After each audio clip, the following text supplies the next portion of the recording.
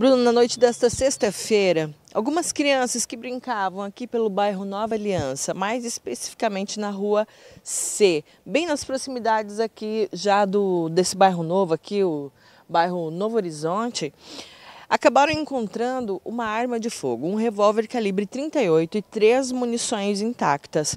A arma estava jogada aqui, ó, bem debaixo dessa árvore que fica aqui na rua. As crianças estavam brincando aqui pelo local e acabaram encontrando essa arma que estava aqui. A polícia não sabe de quem é essa arma de fogo, mas acredita que seja de uma dupla que acabou sendo presa pela Polícia Militar no mesmo dia.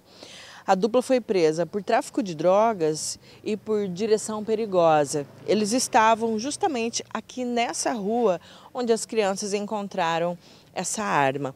Portanto, os militares acreditam então que seja que essa arma tenha sido abandonada, tenha sido jogada aí pela dupla, né? Foram presos então é, Sidney de Souza Assunção, de 18 anos de idade, e também foi apreendido um menor de 17 anos de idade.